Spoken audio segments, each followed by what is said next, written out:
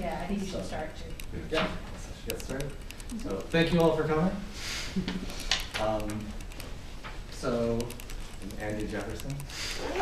Um, and the talk today is titled Cellvival Outcomes, the Effects of an Educational Video Game on Students' Understanding and Motivation. Um, so what I'm going to talk about is going from the idea of this game to actually producing it and getting it in front of students in the classroom and the effects we found once we had it there. Um, and I actually want to start Oh, right. Um, for that point about why I actually did this project. So, so the background to this is that there's a strong literature and a lot of theories about how to design educationally effective video games, but there's much less work actually empirically testing those designs and seeing what sort of benefits they have in the classroom.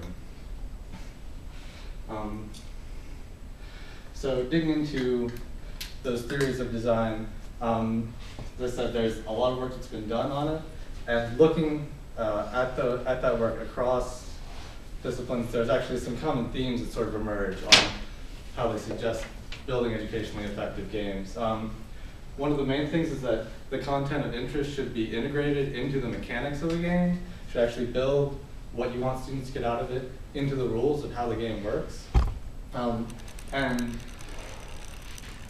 beyond that, it just sort of hits these general principles of how to make a good game, that the game should be challenging, it should provide meaningful choices.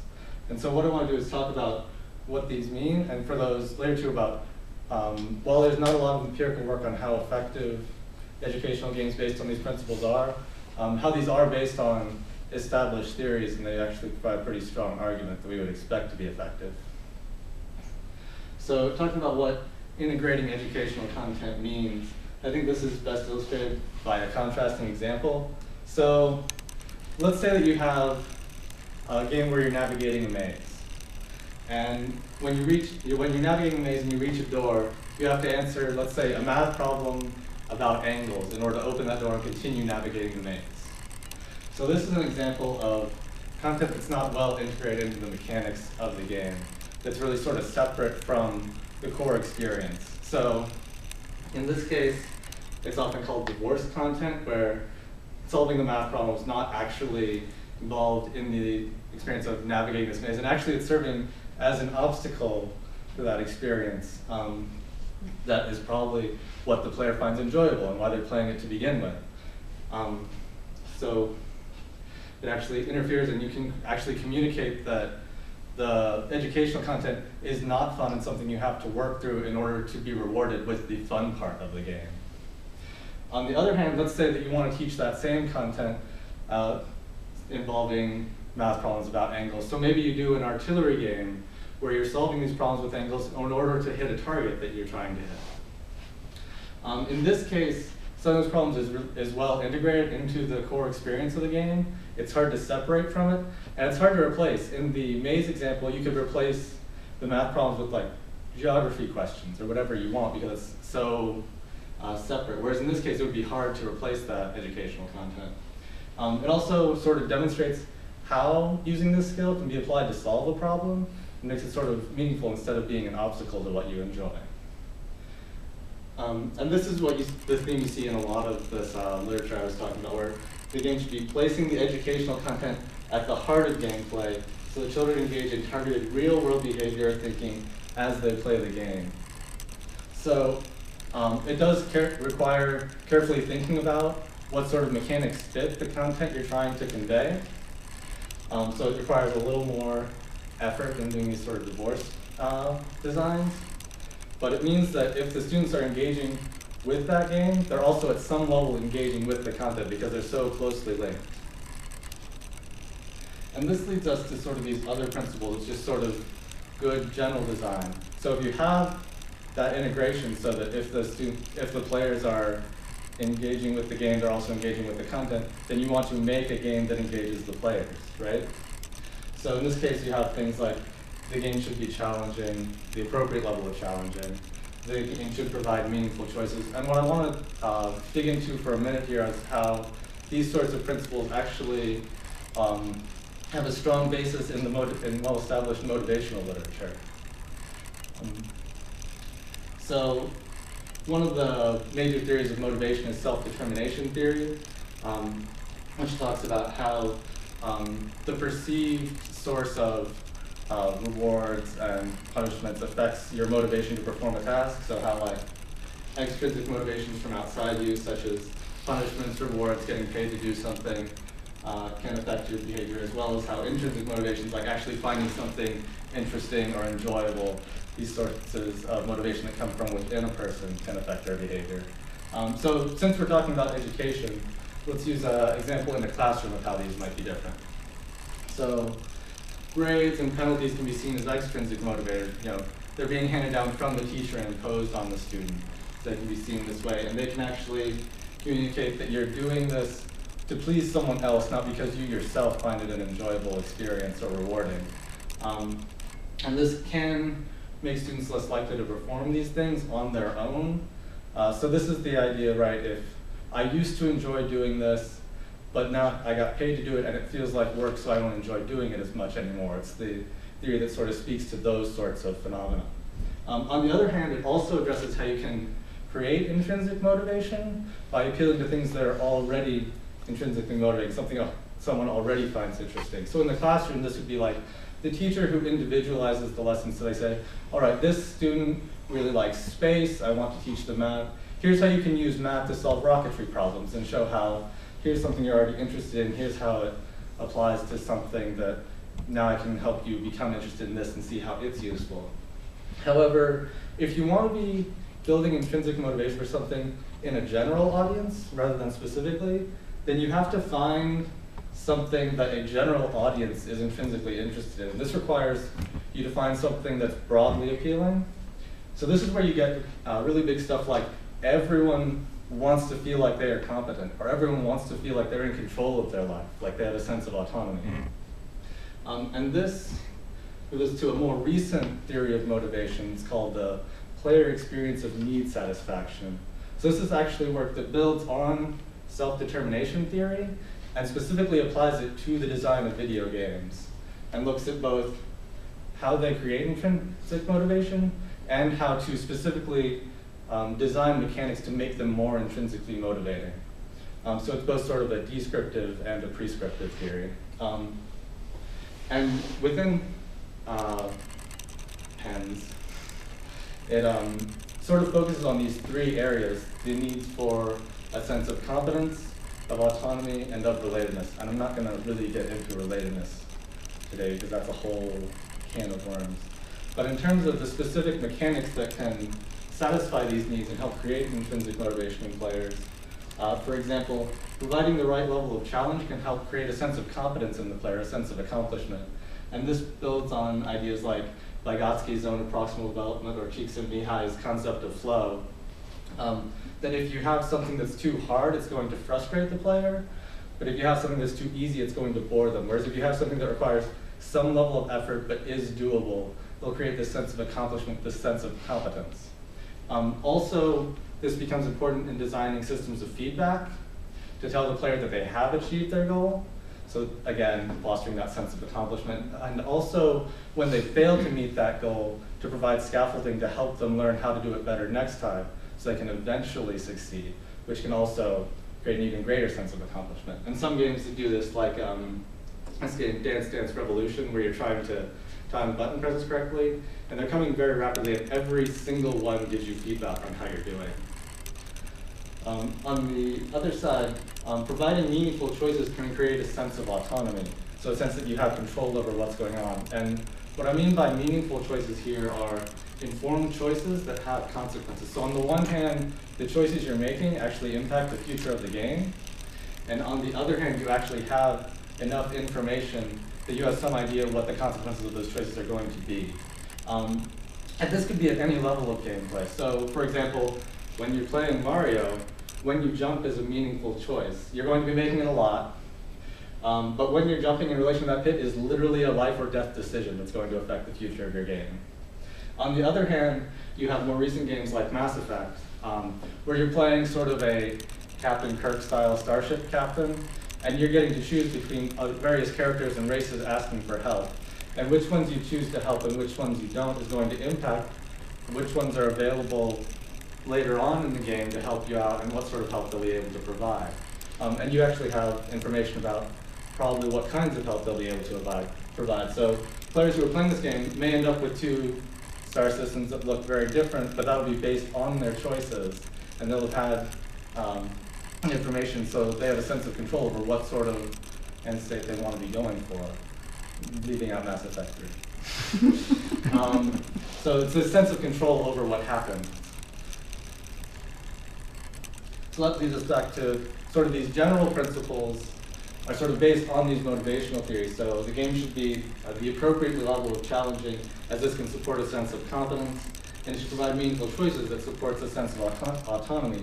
So really these are saying that you want to design educational games that fulfill player needs and create intrinsic motivation to continue playing, or more simply, you want to make good games that people want to play. Okay, so there's the theory and why I think it makes some strong arguments, even though there is not very much empirical support uh, in terms of educational effectiveness. Um, now turning to what that empirical support looks like and why it's maybe not there. Um, so a few recent reviews have uh, said that the findings on educational game effectiveness are inconclusive. This is an um, earlier study by the Navy and a more recent study by the National Research Council. And they have a few things to say about uh, why this is. The first is just that there's not much empirical work on the subject. Um, and what does exist tends to be fragmented between different disciplines that use different terminologies, different methodologies, and make it hard to compare. Um, the National Research Council review actually cited some more specific problems that those who do do, do research on this area, um, a lot of them fail to define the specific learning goals that the game is trying to address. Um, they fail to describe how the game is intended to meet those learning goals, and then they fail to use measures that address those goals that they failed to define. Um, a lot of them also are failing to provide control groups and look at the game as part of a larger curriculum, so it's hard to separate the actual impact of the game from the effects of those other activities, um, which is a major problem. Um, another thing is that a lot of educational games are not designed based on these principles that I just described. Um, these, you have games like the early entertainment boom, there's been a lot of criticism of the games that came out during that period. A lot of the principles I was talking about are actually responses to the flaws of those early games. Um, things like they had divorced mechanics, um, they focused more on extrinsic motivation like points and levels. Um, they had little interactivity or agency, so a lot of them were referred to as flashcard approaches. Um, this is an example called financial football that I found online. Um, and for example, you're answering questions about financial planning, multiple choice questions, in order to move a football down a field. Um, so. the, the entire boom was like this. Seriously. yeah. People So- made a lot of money off this. i Well, I don't know, it could, it could work if the choices were receivers in various points and the position of the Was, defense. was it, was it designed to be for people who like football? I mean, was that the target? Presumably. I mean, I mean, if you just wanted to make a financial quiz, you could make a financial quiz. So they're specifically People who adding the liked football, content. And then had to manage their money, okay. This is no different than Math Blaster and Yeah. everything in that genre. And as I said, like little interactivity, low production quality in terms of graphics, sound, interface. As as you might might guess, these were found to be educationally ineffective and would not be voluntarily played outside of school. But this, thi- I found this floating around online last year. Like these sort of games are still being made because they're really easy. Oh wait, this is a recent game? Financial football. Oh my god. Can you send me a link for that? I can, I can try and find it. and see We it's have still a friend, that- around. one of our best friends who played for the Cleveland Browns Oh. for ten oh, years, and he's a professor of engineering now, Matt Miller, you know Oh, should they get a kick out of it? So, But yeah. and he, he'll just die if I br- bring that with me to a meal at, at dining hall and send it to him or whatever, Well, he'll when I- die. If you just go online and like Google like educational games, you'll see lots Financial more football, he's also going through a this. bad divorce, messy financial divorce, so he can presumably actually utilize this, okay, Maybe thanks a lot, Andy. But yeah, still being Good made work, use today, even though we don't, like, they're laughably ineffective. And so these sort of games are still floating around, and they might get picked up in those reviews of it, the effectiveness of educational games, which is gonna provide some, some noise. And problems if we wanna talk about how effective, uh, games based on those principles are going to be, since they're not. Um, Now, on the other hand, there are some more well-designed games playing around, like Quest Atlantis, Outbreak of the Institute, Mad City Mystery. Now, there are some, so like these last two are augmented reality games where you're using your smartphone, taking actions in the real world that have impacts on the game world, like running around your school to solve a mystery. Um, and these are great for the immersion and, uh, immersion and engagement of the students. However, since they're location-based, it can be difficult for teachers to adapt them to their specific school, difficult to pick up and use. Um, one example of a game that I really like is this game called Supercharged, I think provides an interesting example. Um, so this was a game trying to make the principles of electromagnetics as gameplay. So as an example of integrated design, the way this works is you're trying to navigate a maze with your spaceship. And the way you do that, you have limited uh, fuel for direct thrust, but you can change the charge of the ship, which changes whether it's attracted to or repelled by charged objects in the environment. And in fact, the uh, way the levels are set up is there's a planning phase where you can place a limited number of charged particles, and then there's the uh, actually navigating phase where you're piloting the ship through it, making use of those things you place. Um, this idea here was that students would actually get intuitive knowledge about how these fields interact and traction and repulsion work. Um, and they tested it in three urban middle school science classrooms um, and found that students who got the game versus students who received normal instruction uh, had higher performance on of pre-test, uh, pre-post measures such as grasping the role of distance, because it's one thing to be reading about how it's an exponential function, it's another to feel how much stronger it attracts or repels you based on how far away your ship is.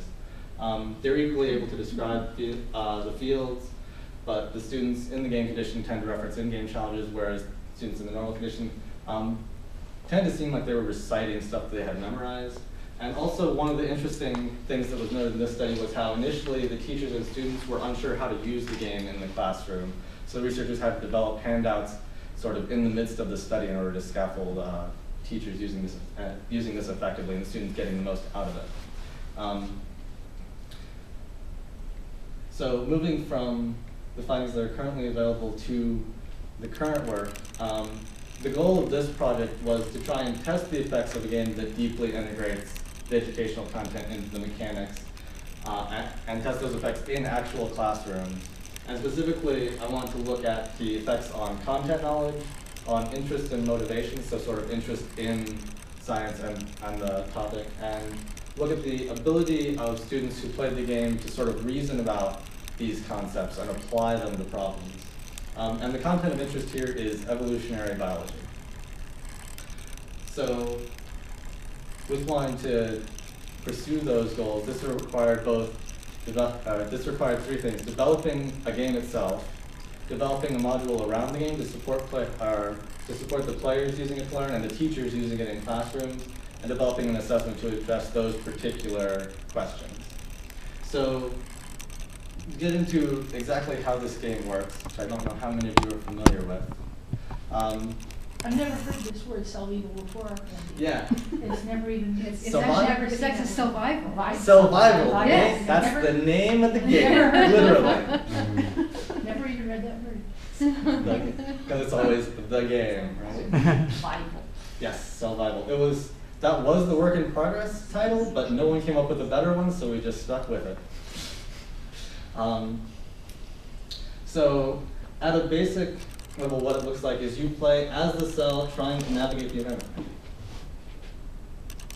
So, you control a tetrahymena cell trying to eat these smaller bacteria that are food and not get eaten by the larger guys, which may be about to happen there.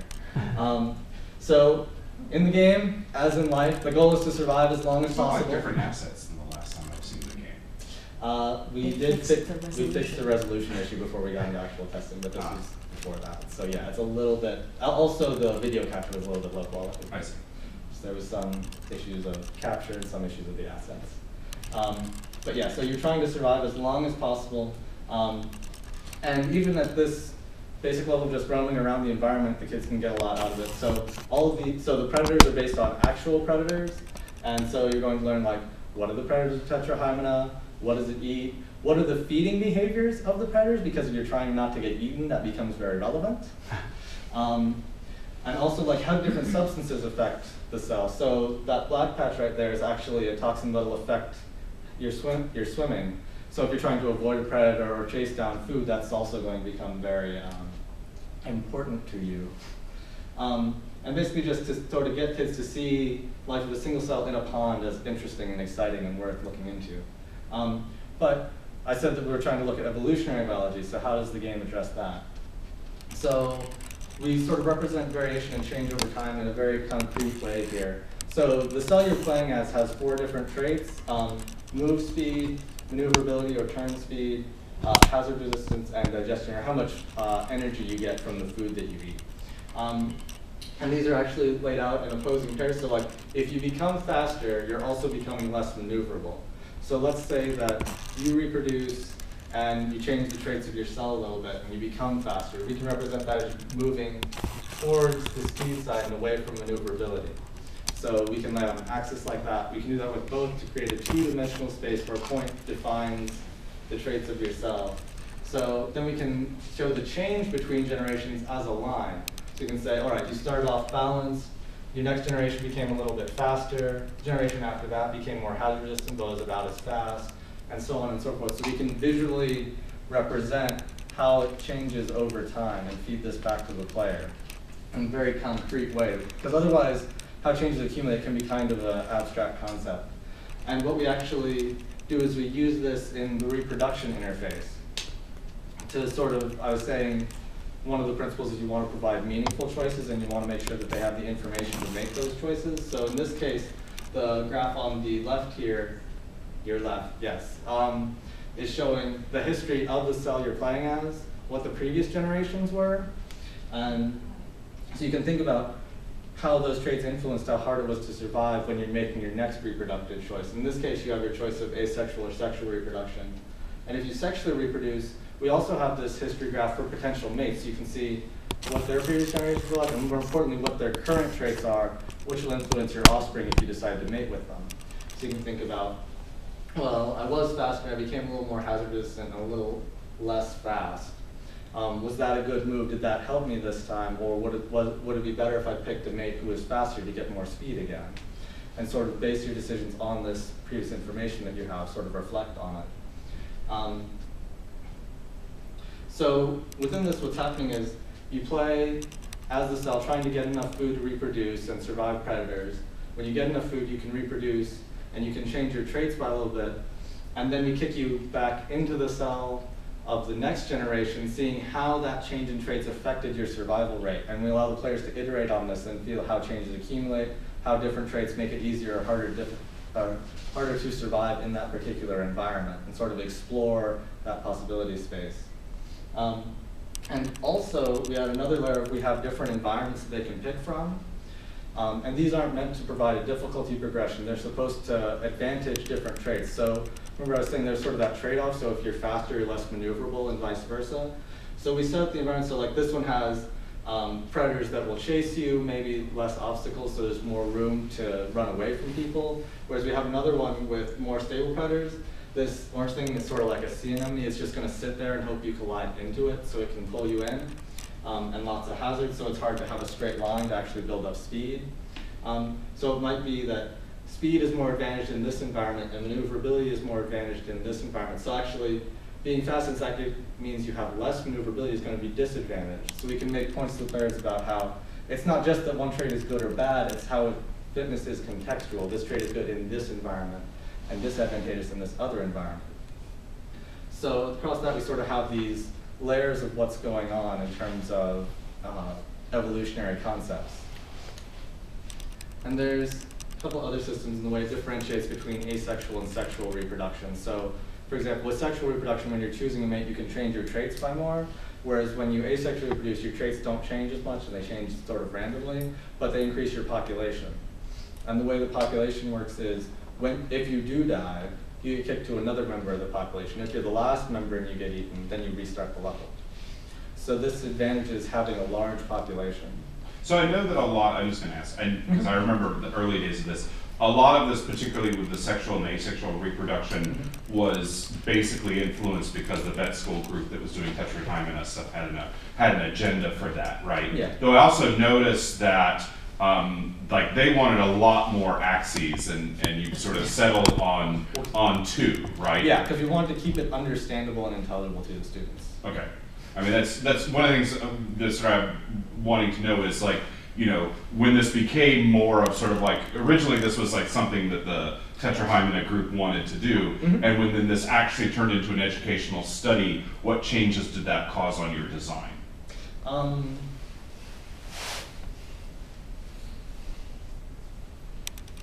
I mean, we tended to study it from the start, so I don't think the actual study caused a lot of changes. I think as, as with any project, there were a lot of features that were planned that didn't make it into the final build.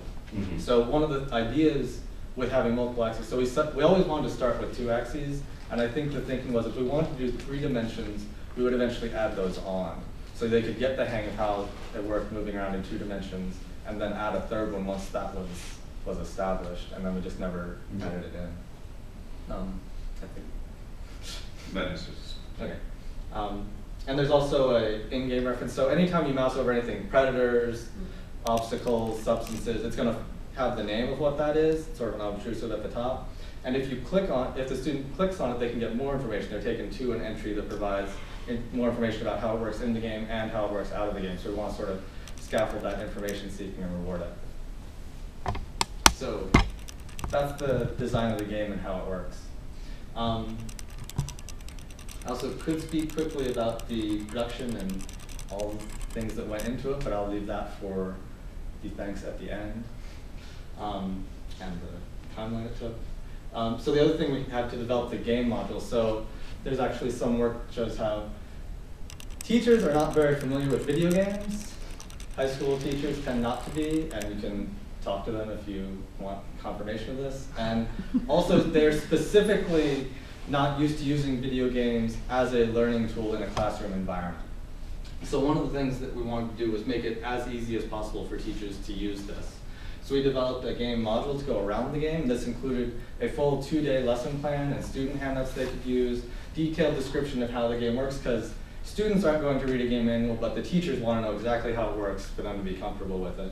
Um, and discussion guides for each day. So the lesson plan actually sort of involved these cycles of playing the game, then discussing that experience with the rest of the class so that players can compare their experiences, the teacher can highlight important lessons, and then they play the ga- game again, sort of building their understanding. Because as just discussed, there's sort of a lot of things going on, so it helps to sort of discuss it and then build, and then play it again, looking at new things. And we had discussion guides for exactly like what sort of questions you might want to ask after the different sessions of play, what sort of responses you might get, how to respond to them. Like I said, try and make it as easy as possible for the teachers to use. Um, and then in terms of the assessment, in order to sort of get these questions of, you know, how they're going to perform on tests about this content, do they know the important concepts, multiple choice questions, on how interested are they in it, how does their interest change, what interest scales, and can they reason about the topic? We went with short answer questions, which also addressed some of the gaps that may have been left by the multiple choice. I'll talk about specifically those items in the results. Okay, so here's the materials we developed. Now, in terms of the methods we're using for the study, um, we'll start talking about the research design, because there's sort of an interesting uh, progression in itself, as you are well aware. Um, this is Erica from the Statistical Consulting Unit, who was very helpful. um, so initially, we want to look at how um, the game leads to gains and compare it against typical instruction. So we start off with a standard pre-post design. Um, the issue with this is that you're going to have a no-game group, and it is really hard to recruit teachers that are not going to then get to use this cool educational video game that you're working on and they're really excited about. Um, it also led to this question of if you have two of these groups at the same school, if the students are going to become resentful that they're not in the group and their, friends are going to tell them about it and all these sorts of concerns. So to address that, we looked at this idea of a switching replications design.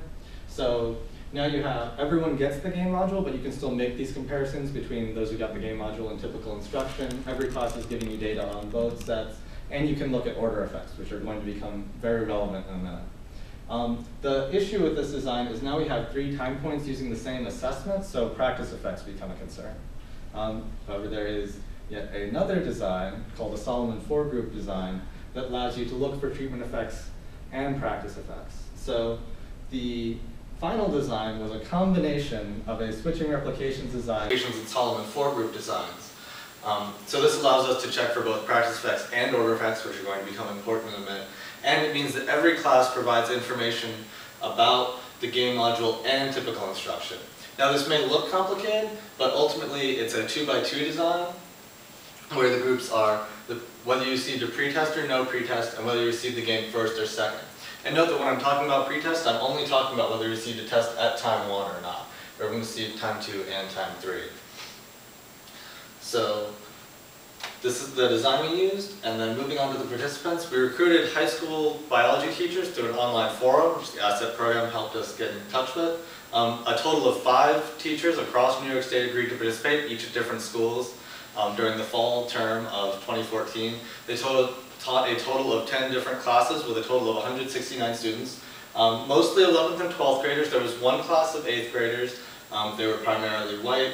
It was split between two of the teachers, and four of the classes then were AP, and the rest were non-AP, including the one eighth grade class, and they were about evenly split between male and female students. Now, turning from the participants to the results, and specifically let's talk about compliance issues. So I said there were 169 students that participated, and of that, a total of nine, only 90 students had um, all the assessment, completed all the assessments that uh, they were supposed to do for their condition. So, so for example, in class two, there was supposed to be a pretest class, so they're supposed to complete assessments at times one, two, and three. We see 18 of the students did that, where we see three of the students only completed the assessments at time two and three. Maybe they weren't there at day one. Um, two of the students only completed days one and two. Maybe they weren't there at day three. We see these sort of scattershot compliance issues throughout all the classes. However, some of the classes have a different uh, problem. So for class one, this was also a pretest class. They were supposed to complete assessments at times one, two, and three. And we see only one of the students did that, whereas 18 of the students only completed uh, assessments at time one and two. So here it looks like there may have been a more systematic issue. Maybe there's an issue with miscommunication with the teacher about what assessments the class was supposed to do, or with the way the teacher administered those assessments. And we actually see these sorts of issues where the majority of the class uh, was not usable in three of the classes, that, of the 10 classes that were used. So some of the students from each class were either missing days or made other mistakes, which reduced the amount of usable data. Um, and three of the classes had the majority of students non-compliant, which may have been a miscommunication either with the teacher about what was supposed to happen or by the teacher about what the students were supposed to do.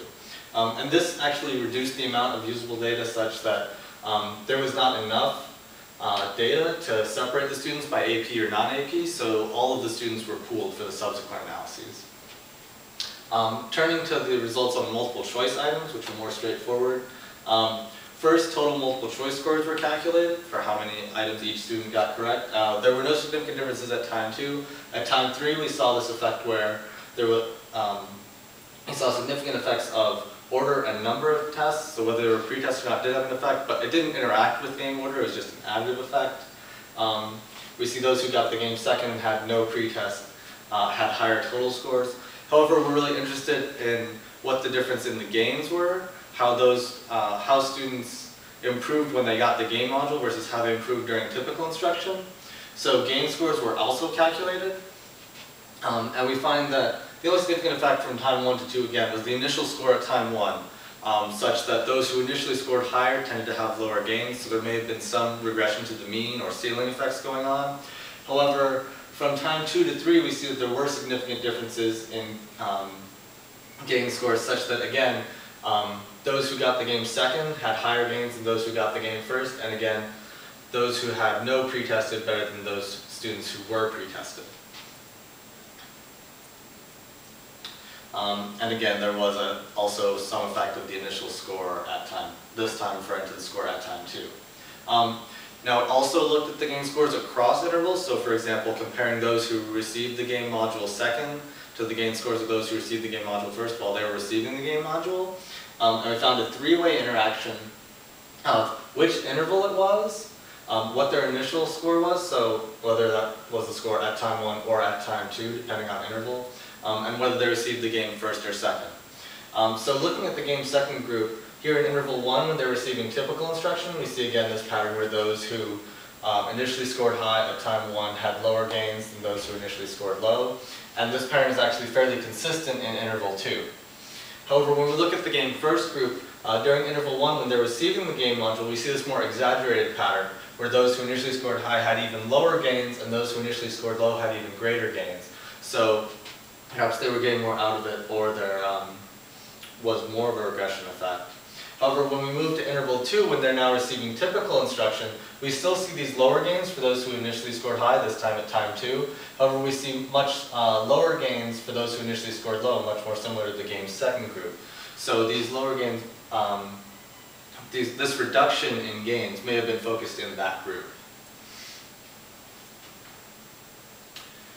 Now, we also did a follow-up questionnaire to the teachers, with the teachers, where we asked them about the demographic information for the students as well as a general rating of the students' motivation in class. Um, there were no significant effects of sex or race. However, there were significant group differences in the average rate, teacher ratings of student motivation uh, between groups. So this is a confounding factor because we see that for the game second no pretest group, which we saw having the highest game scores, they actually also had the highest motivation scores. Um, and this is problematic as motivation also was found to have a significant effect on the multiple choice scores. Um, at time two, um, having higher motivation resulted in having higher total scores. And at time three, uh, it actually interacted with the presentation order such that students who had higher motivation tended to get more out of having the game second. Um, while this is uh, and problematic, I um, think that we can still say that having the game second had an effect because if you look, the no pretest group had significantly higher motivation, but if we look at the pretest groups, we see approximately the same motivation, and we can see that for the pretest group, um, even their game second still has significantly higher gains. So I think that while the the confounding motivation may have exaggerated the effect, I think we can still uh, say that having the game second had an effect on the pretest, uh, on the multiple choice uh, gains. Okay, so there's the multiple choice items. Um, moving to the motivation scales. Um, at time two, there was again very little difference. We saw a um, effect where the game first group uh, had a low had a lower interest in discussing biology in class, so maybe they didn't really enjoy that part of the module. Um, however, at time three, we saw some complicated effects in two scales that were closely related to the content of the game module. In this case, doing interactive science activities and the topic of natural selection. Um, we didn't see really any significant effects on any of the other scales, so it didn't generalize very much. Um, and they both had a very similar pattern, where for the no pretest, so for the game first group, uh, this is, again, just looking at interval two. Um, for the game first group, uh, they had about the same sort of pattern we've been seeing they had across the pretest or no pretest. Whereas the game second group, we see they had actually those that initially scored their interest as very low saw much higher gains than the game first group after they um, received the game model. So it seems like they really had their interest sparked by this, whereas um, we still see somewhat lower gains on the high end. Um, and for the pretest group, we see this actually more flattened pattern, um, which, man, I can only think it must have been something like testing fatigue. They just weren't as interested after having filled out this test multiple times. And we see that pattern sort of across both of these.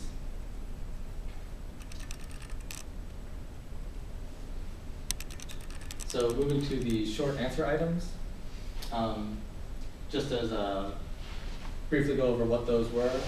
Um, you sort of had a question, two questions looking at sort of, can you define and address sort of central concepts to the content we're looking at? So can you define what makes one organism more fit than another in terms of natural selection?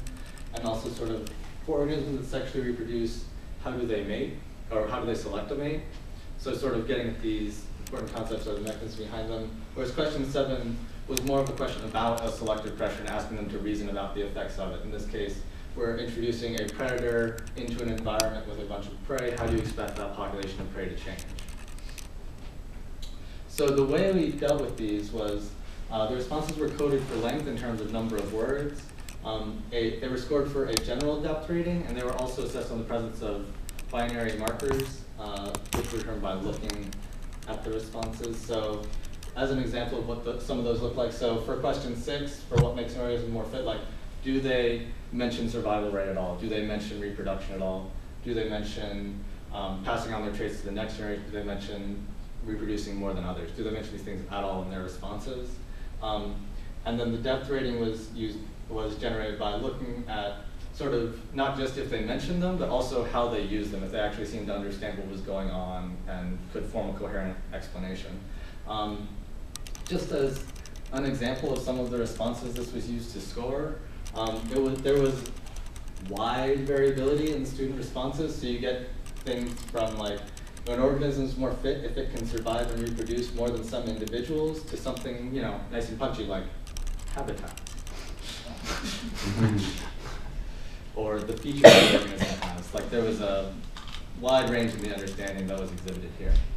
Um, so looking at um, these variants of length and depth, there were no pretest effects uh, for six or seven. Um, there were many significant effects on eight at all. Um, during in interval one, the only difference was less gain of depth in question six for the game first group. Um, whereas for interval two, the only difference was there was a greater gain depth on question seven for the game second group. So the game first group, when they got the game module, their um, responses on why is a organism more fit, it showed less gain depth compared to those who were receiving typical instruction. Whereas for question seven, um, when they were receiving it second, they had uh, their responses got deeper in terms of discussing how selective pressure might work um, compared to those who were receiving typical instruction at that time. Um, so it may be that typical instruction leads to better definitions of terms, whereas game second led to a better understanding of the process of how this might work. Um, and I also have data on the individual markers, but I wasn't sure there was going to be time to go into those, or they were very informative. So the results, and sort of to summarize, there were significant compliance issues. Um, we saw greater gains for gain second in terms of the multiple choice items. Um, there were very specific gains in terms of the motivation scales, where it seemed to only affect the scales that were closely related to the game module, and it mostly saw gains for those who initially had low motivation scores. Um, and the short answer items showed kind of mixed results in how uh, helpful the game module was or or may have also been very specific in sort of what um, problems the game helps students get an understanding of. Um, you know, let's talk about some of the significant limitations of this study, both uh, specifically in terms of the sample that was used, the fidelity, and the and then some just general issues of the design. So teachers were self-selected. That's a basic limitation. Also, there were those confounding differences in motivation rating, which, as I said, um, I don't think um, sufficiently explain the game's second effect that we can say that there isn't an effect, but they are problematic for looking at it. Um, and also just because of the size of the sample, couldn't differentiate between uh, AP and non-AP students, and there was a mix of 8th and 12th graders. So there's just a lot of variability and noise in this particular sample. Um, though I will point out that, so for the um, no pretest game second group that was doing so well, um, they had higher motivation, but you'll notice that there was actually primarily non-AP students, whereas the pretest game first group that was doing, um, whereas some of the uh, game first groups also were primarily AP students. So it's not just that the AP students are doing better or having more gains than the non-AP students. Actually something else going on. Um, but yeah, there were issues with the sample. Um, there were also issues with how the teachers administered the assessments in the module themselves. So since this was distributed online, there's very little direct instruction to the teachers and there was no direct observation. I don't actually know what was going on in those classrooms. Um, and I think this may have been a factor in the compliance issues we saw.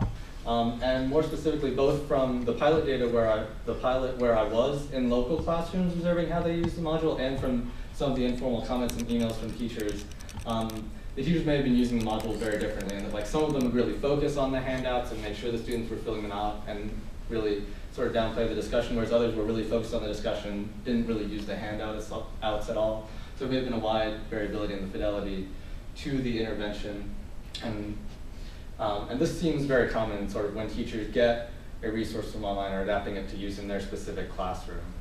Um, so in that case, it sort of provides some ecological validity, but it's problematic for the research.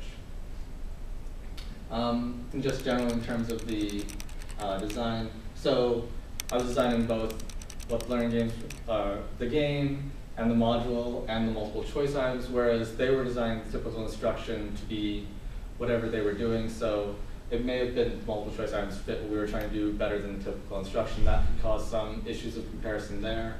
Um, also, motivation with self-report measures. So again, that's just a stand, rather standard limitation. Um, in terms of research design, there's no follow-up, so we don't know how persistent these effects are. Um, also, um, as I said, we, everyone received the game module, so there was no, no game condition across both intervals for us to compare the final outcomes to. Um, and in terms of the game design, so this is a fairly complex game, so it would be hard to compare the results for this to say something like financial football, which is very different.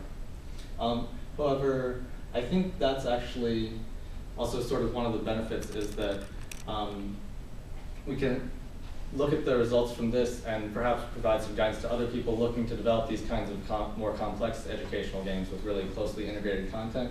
And I think this order effect is really significant for them uh, in terms of talking about how it looks like if you want to use this kind of game in a classroom, it's important to provide that foundation of terms and knowledge for them to get the most benefit out of that game. So how much of this do you think is sort of like relative to sort of like the level design, right?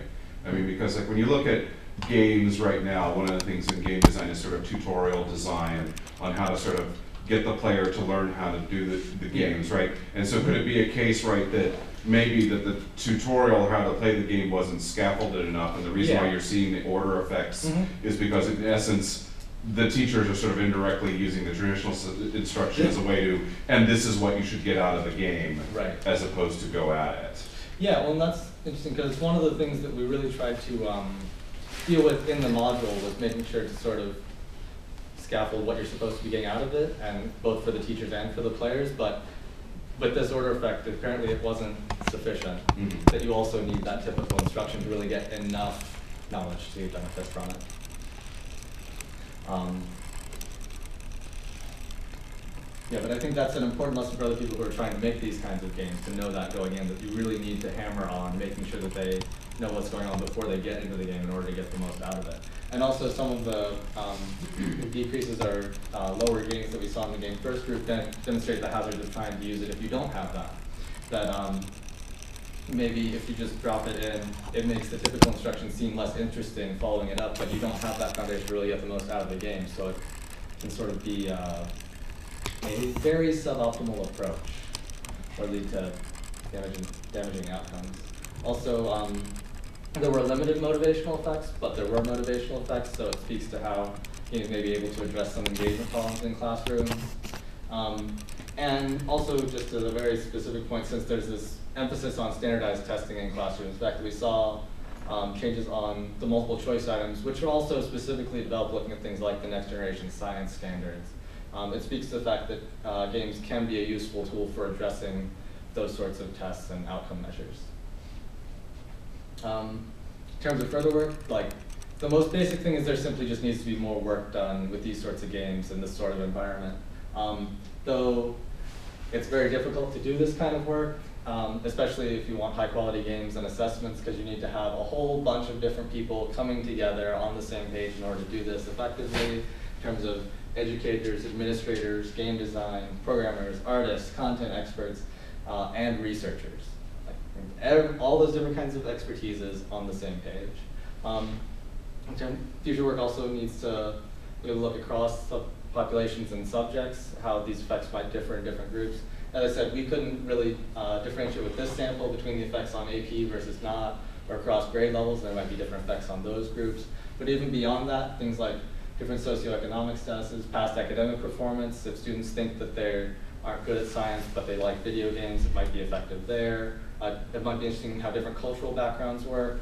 Um, you can get into that uh, idea of the individualist versus collectivist things and social games versus competitive. Um, uh, and even across teachers, if they have different instructional styles, different classroom structures, different school cultures, how that might affect um, what effects games have and which sorts of games are going to have, be effective. Um, also, we would since these are based on sort of these basic learning um, theories, we would expect it to have effects across different subjects. So I talked about a physics game, this was a biology game, but you would expect these principles to hold in things like history or economics or even other areas of biology, but that work simply needs to be done. Um, and beyond this sort of course idea of if these games are effective, there's then the more nuanced what specific mechanics have what effects for different groups uh, to really dig into those sort of questions. How different rules uh, might have different effects for different groups or in different subjects. So, sort of the take-home conclusions that I think we can draw from all of this is that these kinds of complex library games really need this foundation of knowledge in order for students to get the most benefit out of them.